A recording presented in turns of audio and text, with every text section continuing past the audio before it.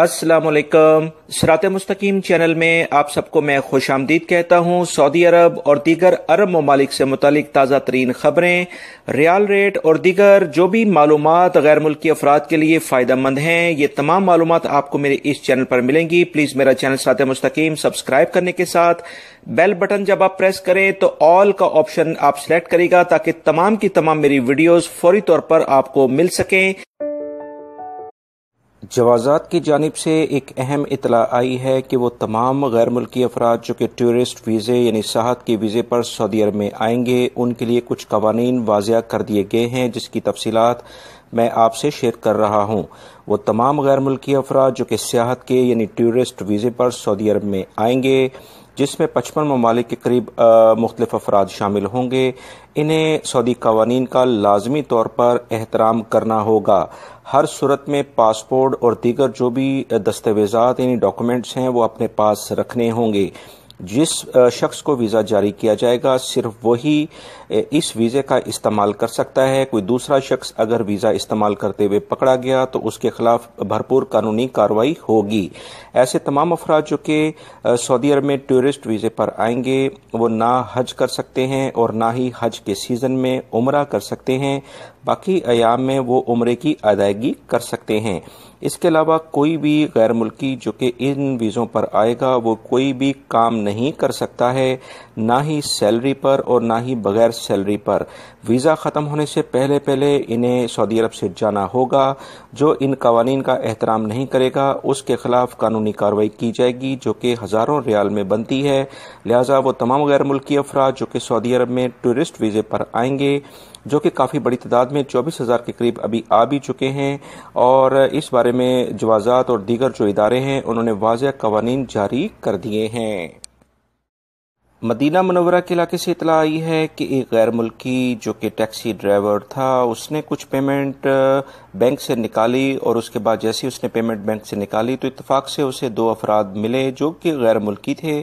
انہوں نے اسے ایک کسی ولیج میں یعنی دور دراز علاقے میں جانے کے لیے کہا، جس کے لیے وہ راضی ہوا اور رستے میں جانے کے بعد ان دونوں افراد نے ایک شخص کو اپنے قابو میں کیا اور اسے جاں بھاگ کرنے کے بعد اسے صحرا میں پھینک دیا، مگر یاد رکھے گا کہ جو بھی افراد جرائم کرتے ہیں، وہ یہ بات بھول جاتے ہیں کہ کوئی نہ کوئی ایسا شواہد وہ میں پچھلی نیوز میں بھی آپ کو بتا چکا ہوں، ایسے ایسی نشانیاں وہ پیچھے چھوڑ جاتے ہیں جسے تلاش کرتے ہوئے قانون نافذ کرنے والے ادارے ان تک آرام سے پہنچ جاتے ہیں۔ کچھ اس واقعے میں بھی کچھ ایسے ہی ہوا ہے کہ ان افراد نے اس سے جو رقم اس نے نکالی تھی وہ تمام لینے کے بعد اس کی گاڑی کو بھی کہیں سیل کر دیا اور اس کے بعد وہ اپنا فائنل ایگزٹ یعنی خروج نہا لگا کر وہ مدینہ ایئرپورٹ سے جب جانے کی کوشش کر رہے تھے تو اسی دوران انہیں گرفتار کر لیا گیا ہے۔ یہ سعودی جو سیکیورٹی ادارے ہیں، ان کی ایک بھرپور اور زبردست کاروائی ہے جسے ہم اپریشیٹ کرتے ہیں۔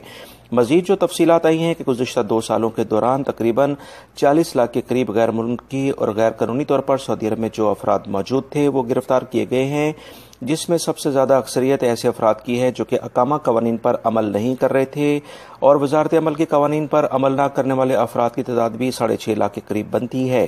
پچھلے دنوں میں نے آپ سے خبر شیئر کی تھی کہ آٹھ لاکھ سے زائد غیر قانونی غیر ملکی افراد کو ان کے ملکوں میں ڈپورٹ کر دیا گیا ہے۔ اب یہ تعداد میں مزید پچاس ہزار کا تقریباً اضافہ دیکھنے میں آ رہا ہے۔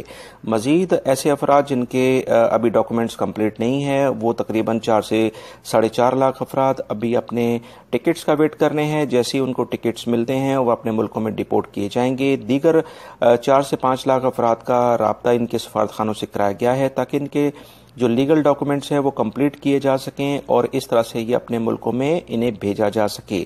یاد رکھیے گا جو اس طرح سے جیل کے ذریعے سعودی عرب سے اپنے ملکوں میں جاتے ہیں، وہ سعودی عرب میں دوبارہ کسی بھی ویزے پر مملکت میں نہیں آ سکتے ہیں۔ یہ واضح قوانین ہیں۔ آپ حضرات کی جانب سے اکثر یہ سوالات پوچھے جاتے ہیں۔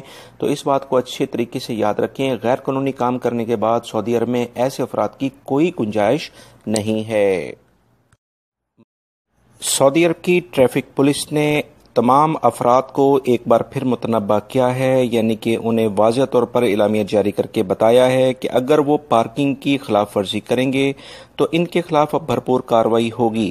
ایسے تمام غیر ملکی افراد جو کہ اکثر ایسے علاقوں میں رہتے ہیں جہاں پارکنگ کا کافی زیادہ ایشو ہے، بہت احتیاط کریں کیونکہ ایک سو سے ایک سو پچاس ریال کا اب جرمانہ انہیں آرام سے کر دیا جائے گا، کیونکہ سعودی محکمہ ٹریفک اس بارے میں بڑے واضح قوانین جاری کر چکا ہے کہ کسی صورت میں کسی بھی شخص کو اب رعایت نہیں ہوگی۔ کیونکہ غیر طریقے سے جو پارکنگ کی جاتی ہے، اس کی وجہ سے ٹریفک کی خلاف ورزی واضح طور پر ہوتی ہے اور ٹریفک کی جو روانی ہے وہ متاثر ہوتی ہے۔ کسی بھی صورت میں ایسے افراد کو اب کوئی گنجائش نہیں دی جائے گی۔